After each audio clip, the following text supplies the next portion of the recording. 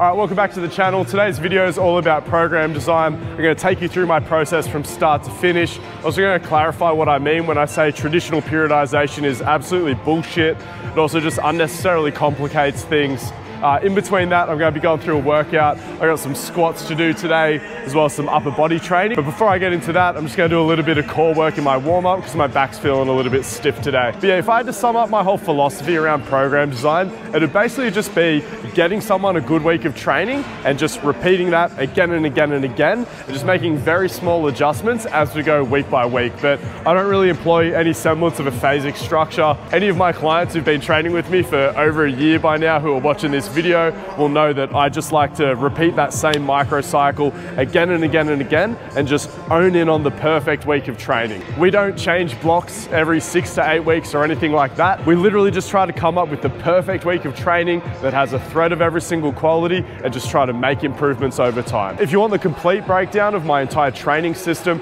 I recommend you check out the links down below. You get access to my course, GPP Level 1, which is phenomenal value. There's pre-recorded content as well as a community that you get access to and weekly video calls and things like that. Or if you're not ready for that yet, maybe you can check out some of my free programs down below. We've got free plyo programs, some accessory bundles and things like that. Really good value down there. All right, so I'm gonna get stuck into some light side bends and some cable wood chops to loosen this back up, and then I'll get into my front squats and we'll start to break down this program design process.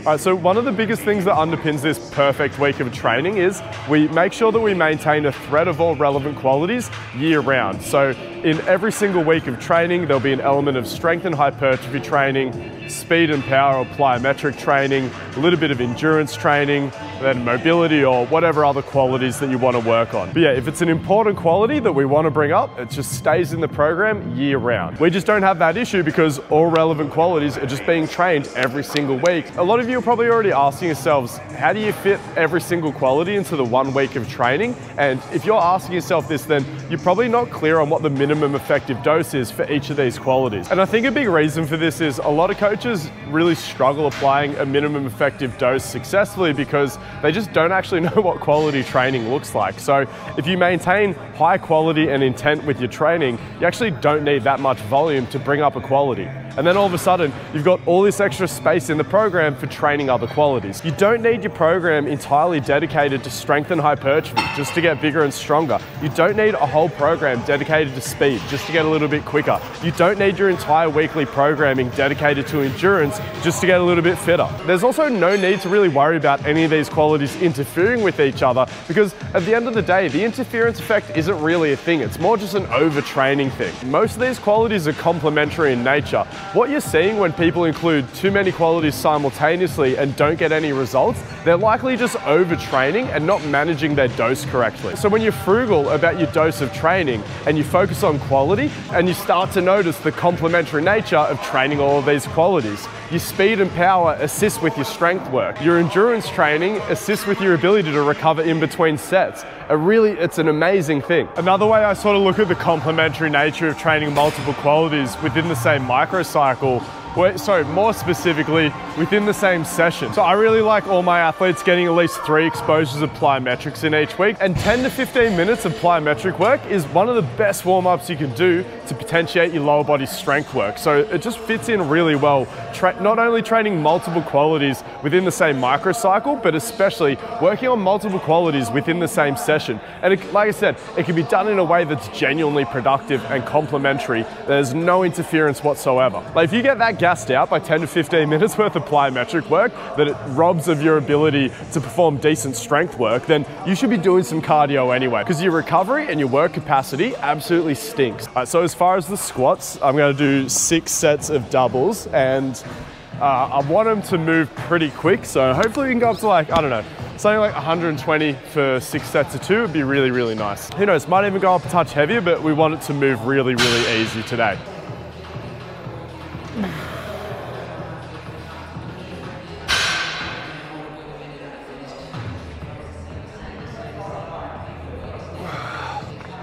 Uh, so that's a really classic session structure for me that allows me to fit multiple qualities into the one workout in a really effective way. For example, starting out with some plyometric training, maybe even throw a little bit of light core work in there if you're feeling stiffy, you need to loosen up. Then we get into our strength piece, and then finish off with some accessories or some hypertrophy work. And then we even have space at the end where you can do a little bit of cardio. And none of those qualities are going to interfere with each other. It's actually relaxing to cap off your workout. You know, you throw in your headphones, you hop on the assault bike and just crank out some nice relaxed zone two. Fits in so well.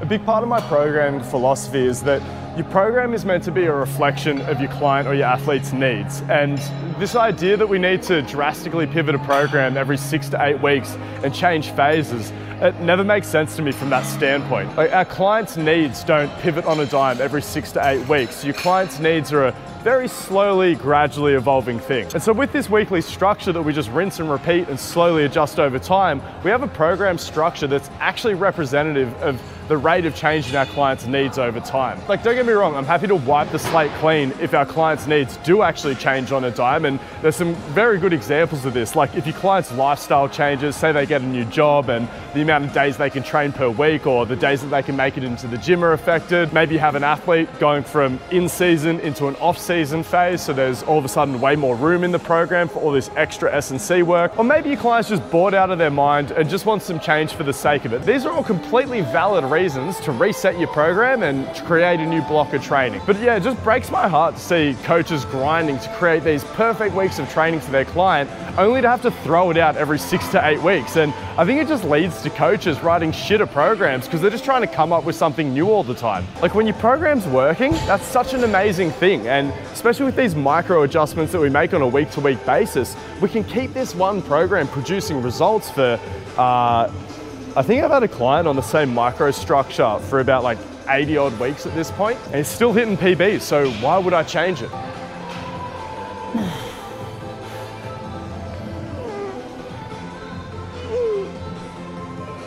Repeating the same week of training again and again and again also makes it so easy to track your client's progress and troubleshoot your program rather than, you know, when you're changing blocks every six to eight weeks, it's like, well, why isn't the program working? I don't know. We just changed 50 things at once versus with this golden microcycle approach to training where you can just continually trying to hone in on the perfect week of training, you know, once you've got it working, it's probably going to keep working. And we're only making these tiny little changes here and there, so, so it makes it really easy to track the performance and troubleshoot things when things have gone a little bit wrong. So a big part of what allows me to do this is as well, like things like RPE-based strength training. So just prescribing my client, uh, for example, three sets of five on squats and an RPE seven or an eight. Once they've done that for four to six or God knows how many weeks in a row, we're gonna start to see a trend in performance. And then once they're beginning to stall out with that prescription, then we'll just adjust things. Maybe I'll, if they have space to train a little bit harder, I'll bump up the intensity by an RPE point, and that's gonna allow us a little bit more progression. Or if we've been crushing sets of five for a while, and again, we've stalled out, maybe I'll let them go up to sets of six, maybe I'll let them try some sets of four. And just like that, they're making great progress again.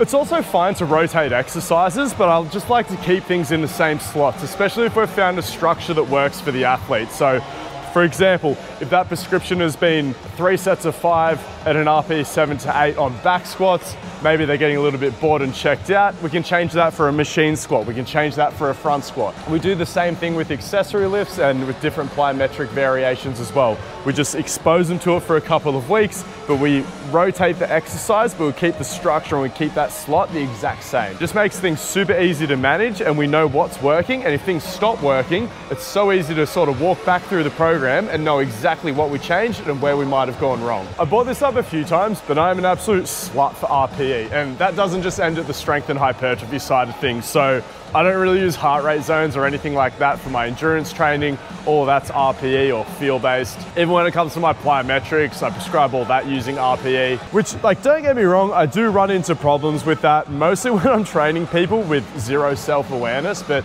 if you're working with people with any level of training experience and decent self-awareness, then they'll thrive with an RPE based training prescription in my opinion. And at the end of the day, I'm just not interested in training people that lack self-awareness. So that's sort of like a little litmus test for me. If someone doesn't work well with RPE, there's plenty of other coaches they can go and train with. If you're just starting out as a coach, you might want to be a little bit more flexible than that, but yeah, I don't need more clients or anything like that, so I have a little bit more my way of doing things these days, and because I put out so much content, a lot of people who apply for my coaching, they're already sort of bought into my training ideas. I, am not meeting random people on the gym floor and trying to win them over. But again, RPE-based training, it's not that hard. It works from beginners all the way through to advanced. The main factor is self-awareness, not whether you're experienced or beginner at training.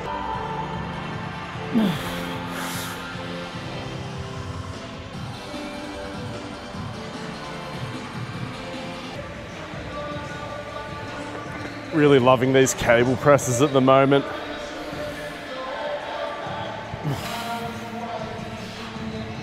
It's a nice break as well from like just being really extended how I do my bench press. These I like to stay nice and stacked. and get a lot of that scapular freedom. Mainly I guess focusing on just protracting at the end of each rep. Not just at the end of the rep, throughout the rep. All right, so throughout the year, if you want to emphasize different qualities, we can sort of do that. Again, we don't need to change the whole program. All you have to do is de-emphasize uh, one or a couple of the qualities by removing a few sets and then you just donate them to the quality that you want to emphasize. And like this doesn't have to be that drastic, you know, just removing one or two units of cardio, couple of sets of plyometrics and then donating them to strength if you want to emphasize strength, or just subtracting a couple of sets of strength work and then all of a sudden you have all this extra program space and recovery space freed up for more endurance training or, like I said, whatever quality you want to emphasize. And if the idea of programming for multiple qualities simultaneously makes you a little bit uneasy, you don't want to ruin your client's progress, all you have to do is keep the main thing the main thing. So if you're working with a strength athlete, make sure that you program the strength stuff first and then everything else fits in around that. If someone's primary goal is endurance, then you program the endurance side of things, and then the strength, the plyos, and everything else, that fits around that. And you really can't go wrong with that approach. Just keep the main thing the main thing, everything else, just run a thread of those qualities around it. You'd be surprised that even some of these qualities that you're just running a tiny little thread of, you can make great gains because you've got year long exposure to that quality.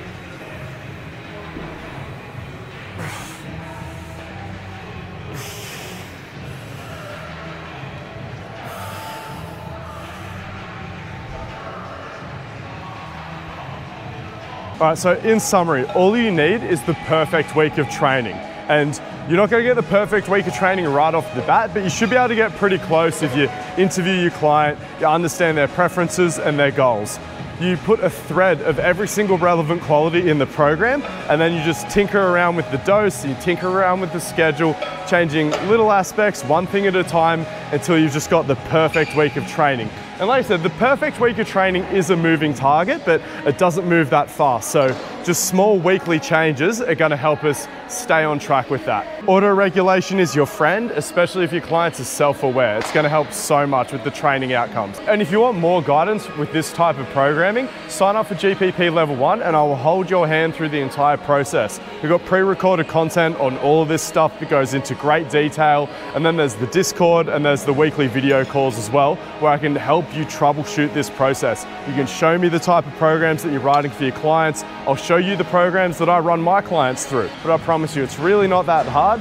Program design is much simpler than it's made out to be. People just make it unnecessarily complicated because they have incorrect beliefs about the interference effect or, or just unnecessarily having to pivot their whole program every six to eight weeks. Anyway, I hope you enjoyed the video and I'll see you in a couple of days with another one.